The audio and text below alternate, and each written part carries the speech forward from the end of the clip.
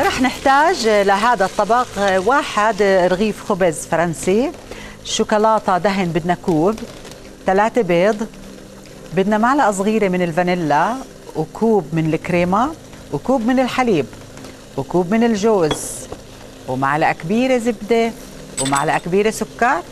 طيب آه سهل جدا الحلو بتاعنا. هنقطع الخبز ال- لو ده مش موجود بنقدر نعمل ال- الحمام العادي. بس يكون بايت. عايزينه بايت شوية. آه. خلاص. آه دلوقتي هناخد الخبز اللي عندنا وعايزين سكينة. هنبتدي نعمل إيه؟ حد هدهن كل العيش اللي عندي ده آه بدك تدهنيهم؟ هدهنه بال... بالشوكولاتة اللي عندنا. وهرصه. Okay؟ أها. هلا هذا كله بدك تحطي عليه الكريمة وتحطيه بالفرن. آه. حلو.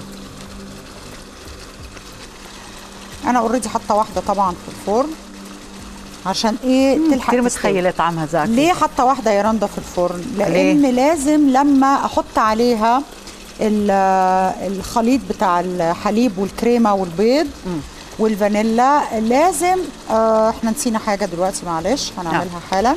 لازم آه اسيبه على الأقل مش يعني تقريبا تلت ساعة أها. علشان الخبز يشرب. قبل ما تحطيه بالفرن قبل ما احطه في الفرن. دلوقتي بس أنا هعمل إيه؟ آه عايزة ادهن القالب بتاعي بالزبدة. بالزبدة اللي هو عيار الزبدة اللي عندنا. أها. أوكي. بس هي دي الحاجة. اللي لازم نعملها قبل ما نحط الخبز بتاعنا اللي بالشوكولاتة. خلاص. طيب شوفي يا رندا إحنا كده خلصنا الطبق بتاعنا. طبعا أنتوا بتعملوه حسب الحجم آه، اللي أنتوا عايزينه. آه، هنا أنا عندي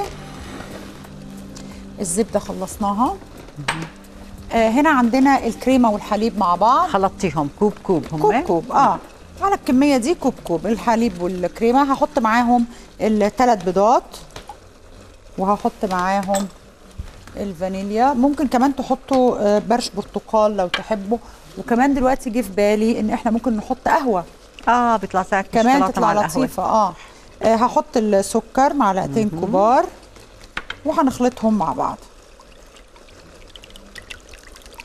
آه لكان بدك تتركيه 20 دقيقة يشرب عايز قبل ما نحطه على الفرن. 20 دقيقة قبل ما ندخله الفرن علشان خاطر لازم العيش يتشتش شوية الخبز يتشتش شوية.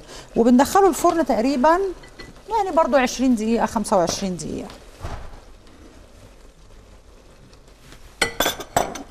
خلاص هناخد دلوقتي أيوة. نوع المكسرات اللي بتحبوه وهنحطه. انت مكسرتيهم ولا عم تحطيهم كبار؟ دول أربع آه. منوع آه يا عيني بس خلاص